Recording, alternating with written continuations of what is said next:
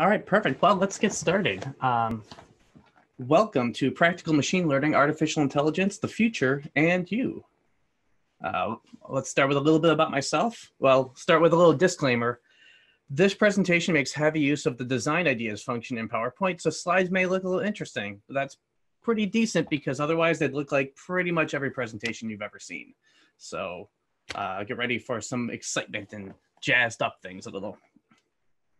So who is CXI? A little bit about me, I'm CXI. I'm the founder of Remedy8 Security, a vulnerability and scanning and security remediation company, 12 year VMware vExpert, author of seven books, numerous papers, including 10 ways to reduce costs while modernizing your IT, Pure Storage Global Influencer, and a number of other evangelist and VIP programs. But that's really, there, there's just a little bit about me. A little bit of my background, though, is um, prior to starting Remedy8 Security, I was CTO at a tech company and reseller for five years. And before that, I spent two years in Afghanistan running theater-wide infrastructure operations, taking the environment from an average 30% uptime to 100% uptime for 600 plus days, and a number of other fun accomplishments that we're not going to get into today.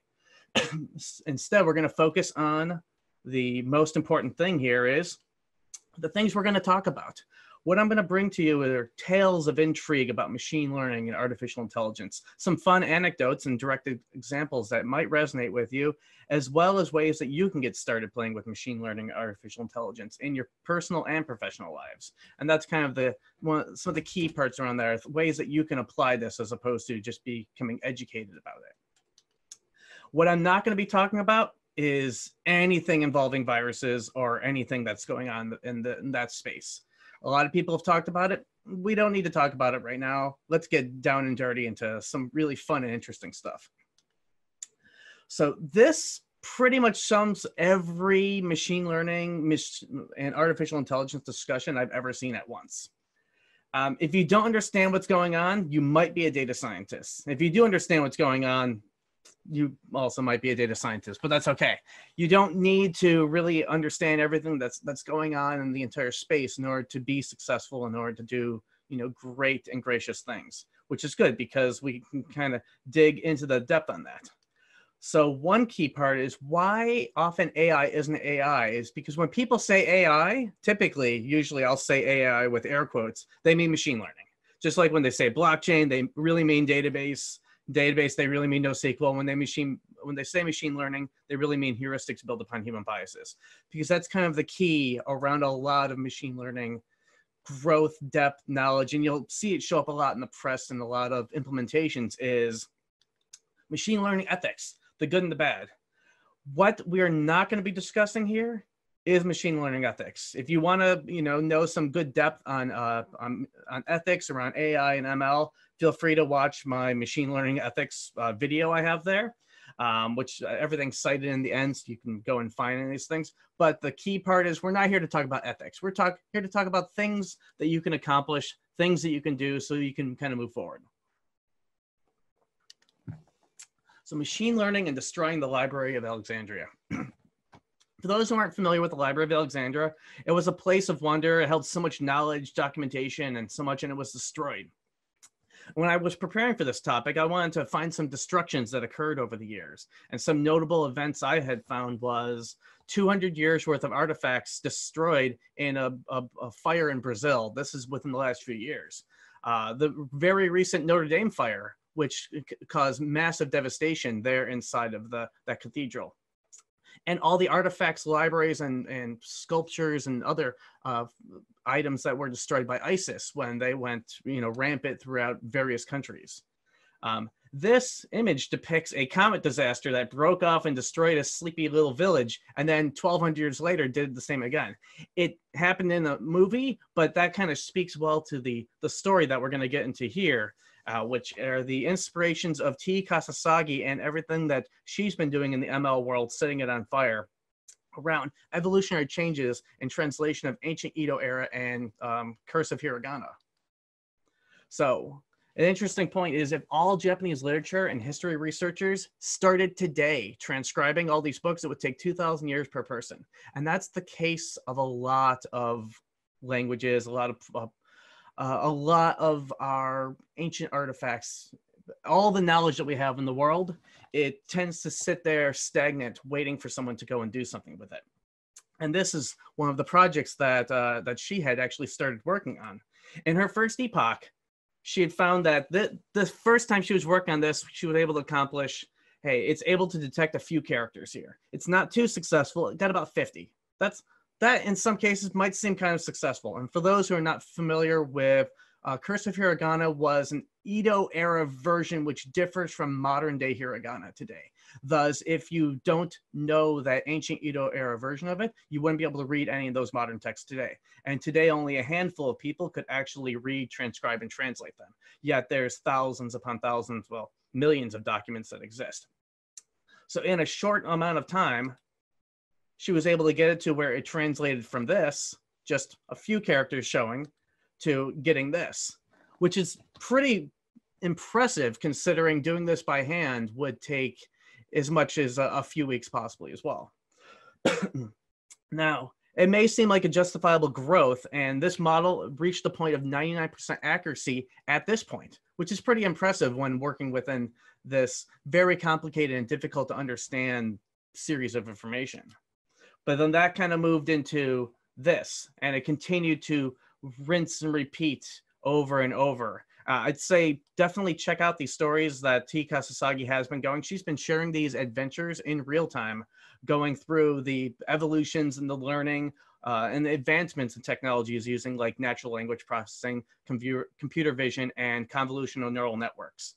And it's able to it's grown this entire industry in this space. It's pretty pretty exponentially powerful when you consider just a few years ago just using a translation app inside of something like Google Translate or for anyone who remembers Babelfish from Alta Vista and anything like that. It was well, we can say bad. It was really bad for a very long time, and still to this day, it is leaves a lot to be desired.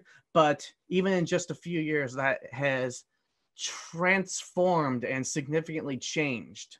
Uh, I found that today, modern era, Google Translate does a an okay job while trying to translate Japanese or Chinese, whereas something like WeChat, uh, its natural conversion of Chinese into English is actually pretty impressive. So we're leap years beyond where we were a few years ago, and it's going to continue getting better. and some of this has been powered exponentially by machine learning, artificial intelligence, and the works and efforts that the teams has been going on to. But kind of rolling into how can we apply this from a business standpoint, or why businesses don't want machine learning or artificial intelligence. so the key part is every business says we want ML, we want AI, but the the truth is not necessarily. So I'm sure looking at this image, as well as the fact that it's labeled, you might be able to tell that's that's a hot dog. It's probably a hot dog. There's a good chance it's absolutely a hot dog.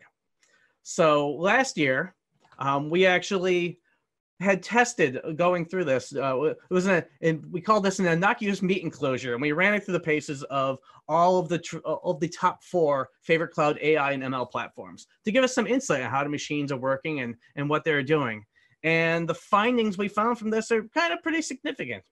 I mean, we can we can all agree or disagree on different parts on this, but we'll kind of see how it, how it comes to bear, right? So we asked Google, "Hey Google, what is this?" And I'll tell you, I mean, if you look at it, you might say that's pretty good. I mean, short of Google coming out and saying this is a hot dog, it was kind of spot on. You know, it's a sausage, it's a bockwurst, it's a kielbasa, it's a breakfast sausage, right? We can all agree Google did a pretty good job there you know and it's it's not it's not a it's not unlike google because they have indexed so much of our content so much of our images so much of our data in the world. I would hope that they would know that this is a hot dog. But instead of google you know forget about google. I'm i'm a microsofty through and through you know i bleed azure. So let's forget about google. You know i, I only care about my platform of choice because it's got to be microsoft and azure right? Because that's what we're using so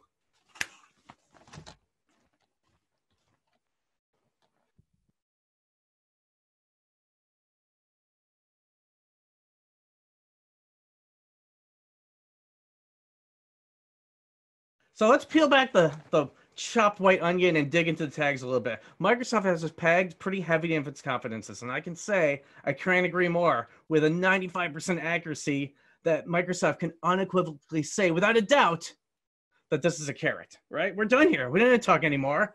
Obviously, this is a carrot. So when Fourth of July rolls around, you know, or or or your favorite summer holiday, let's make sure we throw some carrots on the barbecue and get ready, right? I mean, there's a little bit of hyperbole in here because at least with 94% accuracy, they can say that it's hot, right? A little less confidence that's carrot stick. They're pretty sure that it's orange.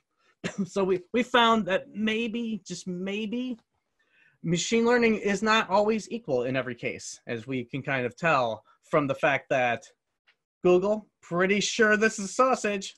Microsoft, pretty sure this is a carrot. I mean, if you look down, if you dig a little down into the tags, you'll find that um, just briefly there, with a 41% level of confidence, that this is bread. So they're they're in the right area. They're definitely getting the right sense of things, but that's kind of the case. Is we're only as good as our data, and it's not to say that Microsoft necessarily has good data, but um, they're not sure what a hot dog is. but let's cast Microsoft aside for a moment because everybody here uses Amazon. Everyone is all about AWS, right? We're all AWS junkies. It's my platform of choice, right? I mean, I just said that about Azure, but the, the key is it is a platform of choice for many organizations. One uh, type of organizations, for example, were police departments were leveraging for facial recognition technology. So to profile criminal acts, actions, and to do better policing, right? So we're hopeful that uh, Amazon might do a better job at trying to understand this image than they would be profiling uh, people's images and criminal acts and things that are going on. But, but for a moment, I want to take a step back and we want to dig into some details for a moment, right? Um, does everyone here like smoothies? I mean, I, I know I do. In fact, one of my favorite drinks is the Açaí Super Antioxidant from Jamba Juice. So I have a business opportunity for you here is between you, me, and Amazon, we're going to get together and we're going to put together a smoothie store so we can put all these other businesses uh, completely out of business. Who's with me? Because the first thing you might notice here is Amazon's really good at knowing that this is a confectionery sweet food. We can call the caramel dessert. So we can get our robots, our machine learning, our artificial intelligence, all those things together to run a storefront for us, and they'll go into the refrigerator, pull this little thing out there and they'll make an orange smoothie for somebody. And I'm sure they will enjoy enjoy these wonderful hot dog smoothies because um, I certainly know that I will. The key is, I mean, this you may find this to be a little bit humorous, as I certainly do, is um, do businesses really want machine learning? And the key is, yes, they do. But the truth is, no, they don't businesses don't want machine learning or artificial intelligence. They want machine fact. They don't want it to be out there on the job trying to figure out for the first time what is this thing? Oh, it's a hot dog, it's a carrot. I don't know. It's probably it's, it's got to be orange. This is clearly an orange. Businesses want when they're going and uh, running a plasma pump, for example, it needs to distribute type O positive blood to someone. They want to go and grab the type O positive blood type and go and distribute that to people. They want when it's looking for faults on a supply line to actually go and identify and see those faults because they have a history of known information and good information they're working on. They don't want a 60% guess that this is a that this is a sweet food. So the key on there is that while every business may say they want it, they actually want it to work really, really, really well, as opposed to a, a modicum of of its some sense of functionality right? They they prefer 99.99999% accuracy, which actually is a high level of failure when you're considering at scale.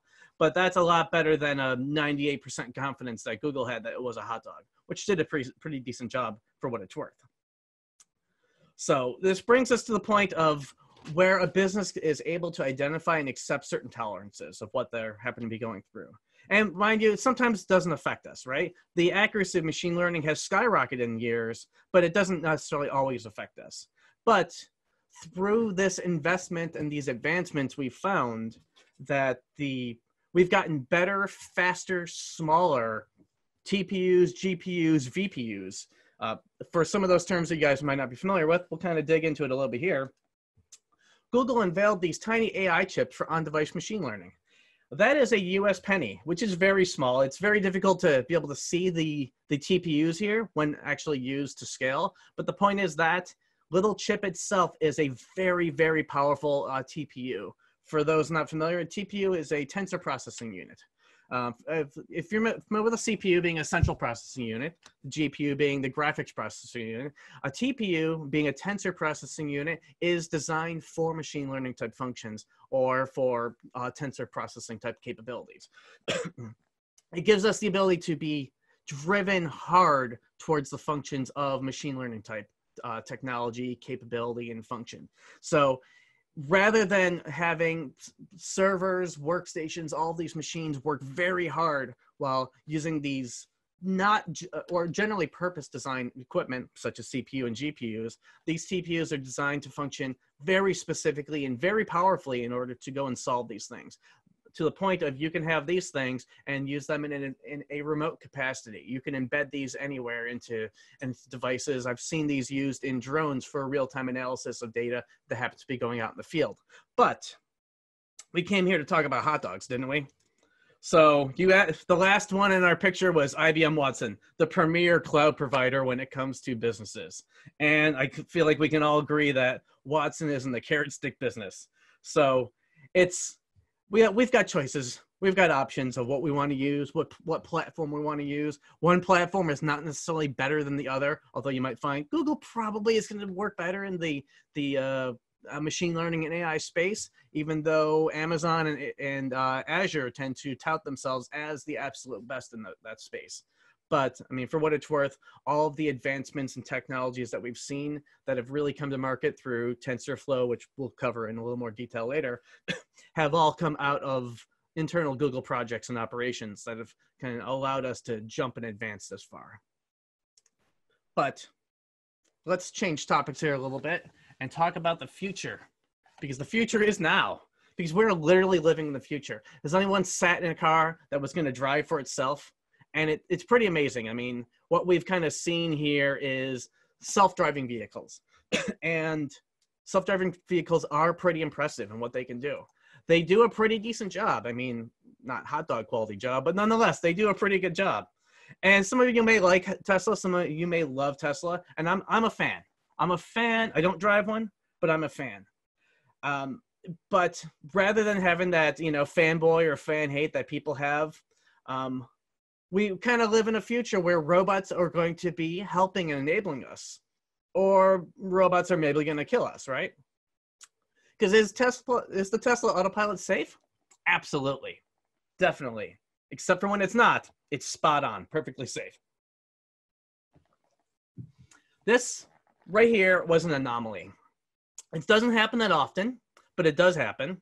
What it sees here is you may notice that um, it says this is a clear path. We can go that way.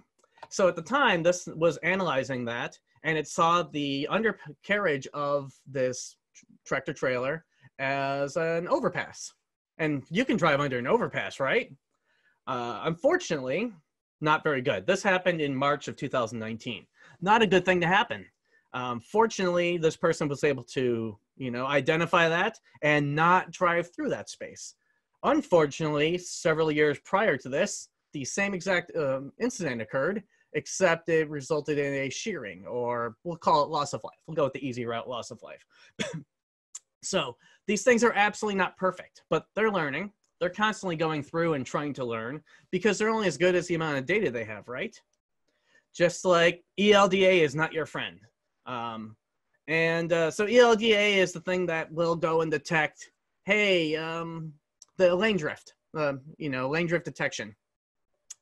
And we found that even if you don't have self-driving vehicles turned on, uh, you're driving any run-of-the-mill car that has ELDA, you may find that sometimes it says, "Hey, you're drifting into a different lane."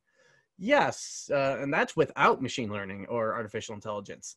And you'll find a lot of times it works very horribly because the fact of the matter is roads are dirty roads have a lot of bad data points. They're definitely not designed as the premier location for information to be, you know, ingested from, be it from camera, be it from uh, laser, lidar, or anything like that. So we find that in some cases it's it's not exactly perfect. Okay, in most cases it's not exactly perfect, but it's working, it's learning, it's growing from this information, from being able to work out of all of this. But we need to go into it knowing that our information is not necessarily good. But the question is is autonomous driving safe? Well, we've had 60, 70, 80, 100 or so that's specifically incurred from self-driving vehicles in the past five, six years. And on average, there's a 1.3 million road deaths every year worldwide when you kind of aggregate that and you kind of roll it together, um, some people like any loss of life is bad. That's what they say. We can't have self driving cars because if they allow or tolerate any loss of life, it's a terrible thing that we cannot a- accept in any capacity. But so which life is more important than another? Then you factored against 1.3 million people die, but any but 10 is also really bad. So and it's kind of weighing it one way or the other. Uh, because is autonomous driving safe? It's not perfect. Absolutely, is not perfect. Is it safer than 1.3 million road deaths per year? Yes, without a doubt. Because it may seem like I was I was you know nagging against and was kind of uh, uh, against the direction of self-driving vehicles. I don't have a self-driving vehicle today. However, I do recognize how it is far more efficient than regular people on the roads people who may be tired, sleepy, or just reckless and dangerous because all those things do happen. So, how do self driving cars work? Honestly, it all comes down to one thing the future is telemetry. They're leveraging LiDAR, they got GPS, they've got radar sensors, they've got cameras, they've got ultrasonic sensors, and more. And they're only using a finite number of these, and you find that you can always add to that. You can always add more of those devices because if you find that um, a self-driving car might not have noticed this until it was too late but your own eyes might see wow there's um a mountain falling down on, on front of us. Let's stop now.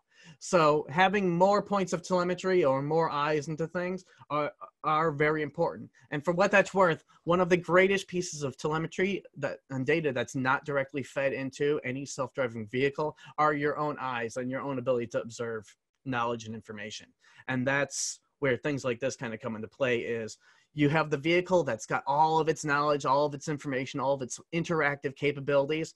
And then you've got yourself and saying, you know what, I need to react in addition to what other pieces of information I'm seeing because I haven't invested further in more points of telemetry, more cameras looking in more directions that could provide us, you know, another way of looking at it. Because anything that's above the line of the car, as far as the most AI that lives inside cars is concerned, doesn't even exist.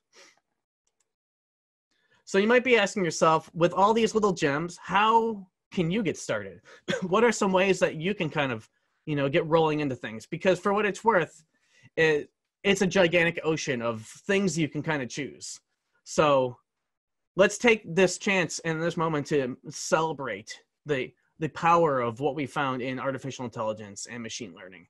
And let's get down to brass tacks of how we can start building and start working with this and work from scratch so that way we don't actually have to try to boil the ocean or try to swim the ocean just to find something that's going to be beneficial useful because we want to find ways we can use this in our daily you know personal or professional lives. And i bring up personal just because your business may not say you know oh we don't see a, a, oh, a direction in using that but you may find a way you can make your daily job significantly easier or your daily personal pursuits significantly easier by leveraging stuff here so one of the first projects we have here, and maybe not something that you're going to take advantage of immediately, is Deepmoji. It's an artificial emotional intelligence uh, sentiment analysis type uh, thing. So this is leveraging AI. it may not seem too sophisticated, but the point is this is an open source project that you can get on GitHub and start working with today. So if you wanted to uh, implement sentiment analysis into your own content, so that way you could have something come back and say, you know what, I think you're kind of angry right now, or or something that's feeding into information that's going on in some type of workflow system inside of your workplace. you've got options. But the key part is you've got options that you don't have to invent from scratch. This is something you can pick up and play with, something you can try out and say, hey, is this something that's going to benefit me? Is this something that's going to be fun? And if you don't like it, you can discard it. It's that easy. The next one here is Move Mirror AI experiment. Again, maybe not something you're necessarily going to do, but this gets you into understanding and working with these projects. This will use your own camera and your movements to match body movements it's found from other images. now that might sound like I have no practical application to use something like this. But the key is if you're able to have the camera go and analyze information such as a shape of something or the movement of a shape of something, you can then feed that into a data table of other information that you have and like, wow, that I can actually have this tell when someone's causing a threat inside of a workplace or I've got a you know fault problem that's going on on a supply line or whatever it happens to be because you can once you have these things written and powered they can run on very small footprints and on very small devices you know.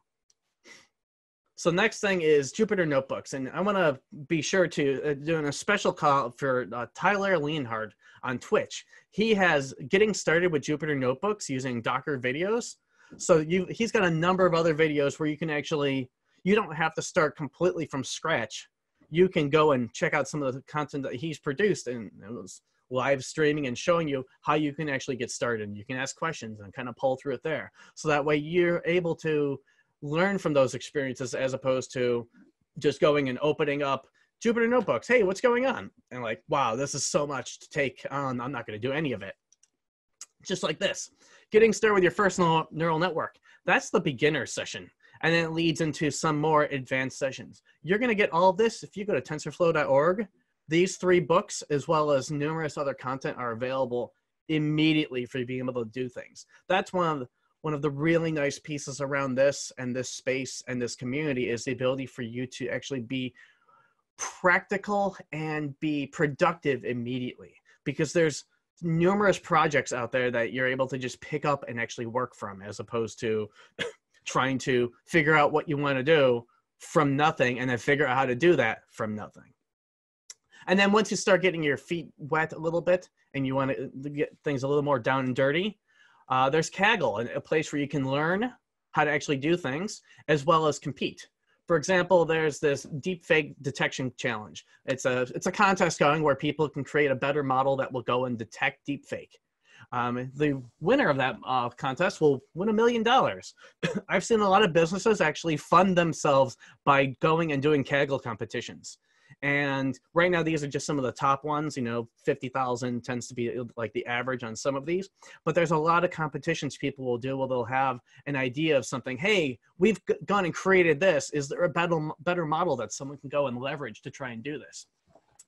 That actually came from there was a team competing uh, in a Kaggle competition, and there was a team of very smart data scientists going creating all these models and going through and and building this and and trying to establish something they can go and do and you know work forward for the business. And then there was another member of another group of their team who went and they used AutoML from google. This is not an ad for google but they went just use AutoML and paid for it to do an hour of analysis. And they beat the the other team of people working using their minds well, they didn't win the competition, but they beat the other members of their team who had spent like 45 days working on the same data set with the same information. So you've got options of how you want to be able to play with this. And uh, another thing noted here is inside Kaggle, you'll find code and data to do your work, which is really nice because there's hundreds of thousands of notebooks where you can just pick up and get started, as opposed to, again, trying to do everything from scratch. Now, sometimes you'll find you want to do a lot of this stuff, but you want to do this on your own premises with your own equipment with your own hardware. And that's some of some of the really nice stuff here is google's got the aiy vision um, with the myriad vpu so i mentioned cpus obviously gpus tpus the tensor processing units. And i had actually never heard of the vpus until i met one of the engineers at intel working on vision processing or with their VP, VPU units. And he had this guy who was the engineer behind the neural compute sticks introduced this to me, and I'm like, that's pretty amazing. So in addition, so there's the Google AIY, there's the Google Coral USB accel- accelerator, which is really nice because it allows you to take like a Raspberry Pi and you can plug this little thing. It costs like 75 bucks and it gives you localized very high performant TPU processing right there plugged into a Raspberry Pi or plugged into a workstation, plugged into some some device, you know, of some sort. I want to do note that these two Intel solutions actually are able to be used um, out of box with Raspberry Pi or Windows. You can actually run these things on Windows. And not pictured here are the NVIDIA Jetson TX2 Nano and other lines, because NVIDIA has a number of kits that you can do. Um, advanced TPU, GPU processing, you know, machine learning, artificial intelligence kind of stuff but again on your own premises so you can do your kind of own experiments in a little hardware kit unit to be able to uh, play around with and do some very cool and advanced stuff.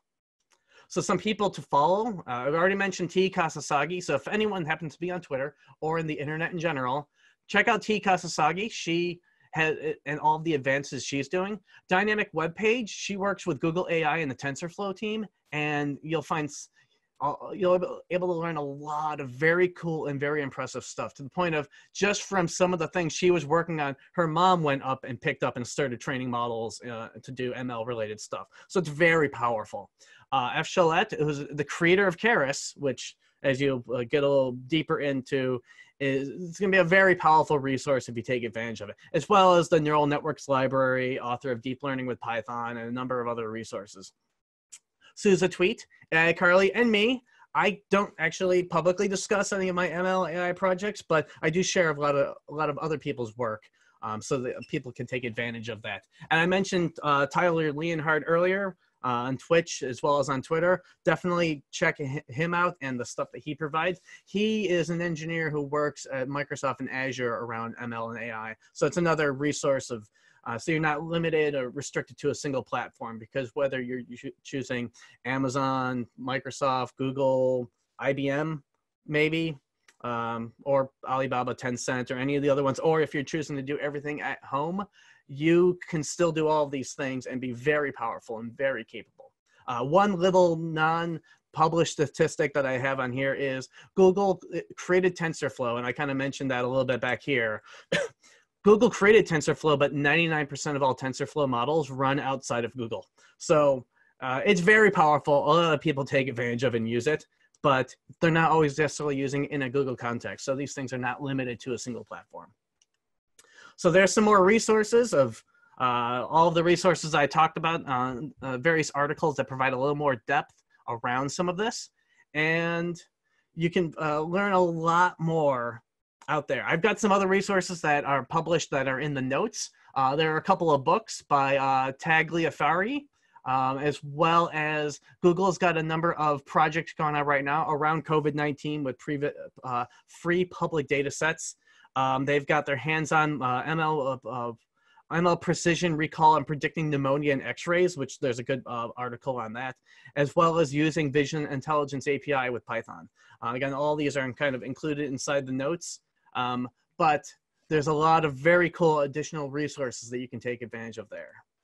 And that's me. Thank you guys. Any questions? Feel free to kind of feed those things out. Otherwise, I hope you enjoyed and appreciated this. And I was really excited to share this because this is an area that I don't have the chance to talk too often, with the exception of when I'm doing it, usually in a business capacity. Um, I've got a, a, whole series of uh, machine learning, artificial intelligence, and Aruba networks uh, articles that are coming in the near future. So I'll leave it open for any questions, and otherwise, I, I wish you guys to really enjoy your morning, afternoon, or evening wherever you uh, happen to be in the world.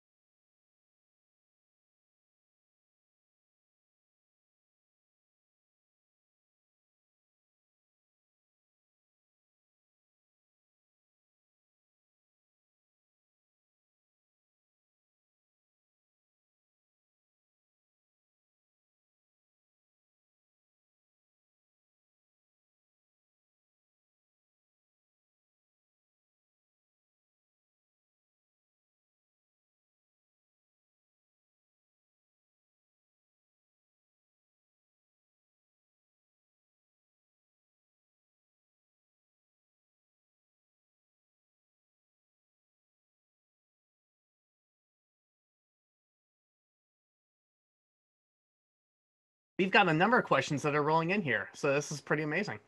All right. Um, uh, Anna says, I asked the question of, do you envision more companies turning to AI as a service? And I'll, I'll be honest on that. Um, it depends. So a, a lot of organizations aren't comfortable having any of their data or data sets live outside their premises. So in a lot of those cases, they tend to not leverage AI as a service, uh, even even in a very raw type of functionality.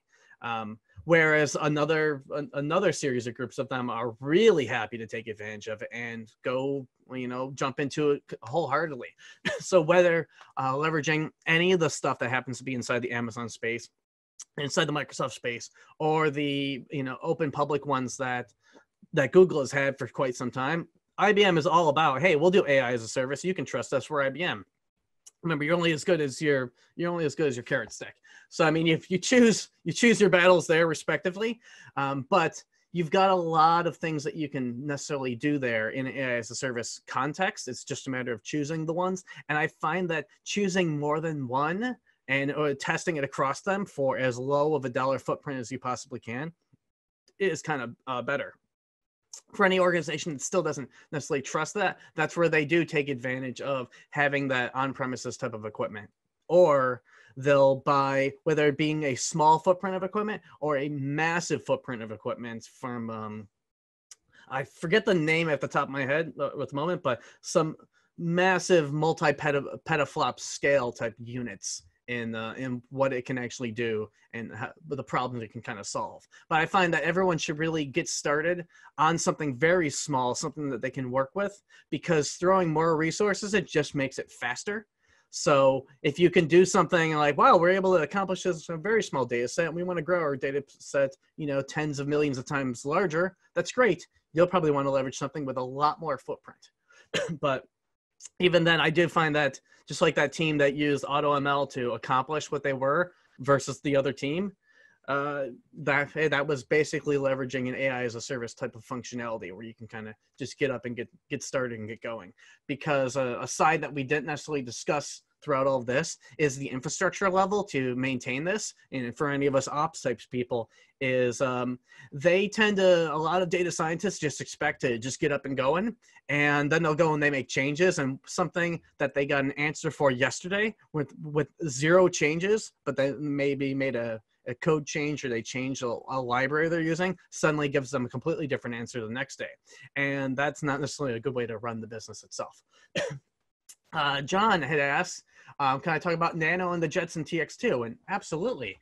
So uh, NVIDIA has has those appliances, and if you go and you search for NVIDIA Nano or NVIDIA Jetson TX2, and these are things you can buy on Amazon and other places, you'll find that these are like uh, like hobbyist kits of things that you can do in a in a small footprint and you absolutely can there's a lot of very cool things you can do because say in the tx2 for example it includes uh, a little you know wireless ear. so you can connect that thing to your network over wireless uh, it's got a little camera sensor in there so you can actually have it go and do some uh, I'll call it like visual input to go and do some ML type stuff against visual input devices. I've I've actually seen some people that have taken this and they had it um, in the in the hobbyist type kit they put this uh, in their business on the line and it was going through and collecting video and collecting photos of of objects so that they were able to perform some models and some analysis against that. I mean there's a lot of things that you can really do and this the key part around this just like in a lot of our communities has been it's been very community centric so you don't necessarily always have to work in a bubble. A lot of other people have done what you're trying to do and share their learnings their experience and um, stuff that they've done so you don't have to reinvent the wheel. Uh, because a lot of people they will want to go and reinvent their own version of a wheel and you definitely just like the original open source movement is go and pick up something someone else has done and then tweak it to your own purposes and your own uses you know and a lot of times when people do that here they'll go and share this information back out in the case of jupyter notebooks or in the case of a lot of these these you know i, I don't want to say marketplaces they're more just community workspaces where people are kind of sharing what they're working on what they're doing. And that's how a lot of these kaggle competitions uh, would be created. Sometimes you know for for fun and and many times for profit. And i've seen people you know literally fund their experiments by going and doing these competitions with their open resources when they w- weren't using it on their actual own you know daily work. Um, so you I'd say I definitely encourage everyone to get started at home with a lot of these things. Actually, start playing around with the ability to do these things in your own uh, own home infrastructure, whether it be you know Mac, PC, Linux, or any of the variants in Raspberry Pi, or if you use any of these kind of hobbyist kits. These are all things that you can take advantage of today, and you can advance it further by having powerful GPUs or powerful TPUs and VPUs.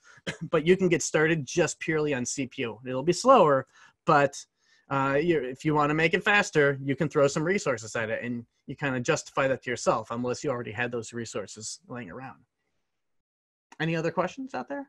Otherwise, I'm going to go and click these things. I really enjoyed the you know the, the, opportunity and chance to kind of talk with this with you guys because this is a really exciting topic. It's a really exciting form of content in our industry that nobody really talks about that often because it's it's hard or it's confusing or it's not that's not my thing. Awesome. Then I want to thank everybody for coming and I I think we should probably wrap it up here. Thank you guys so much. You know, this is a wonderful topic to be able to discuss with you guys.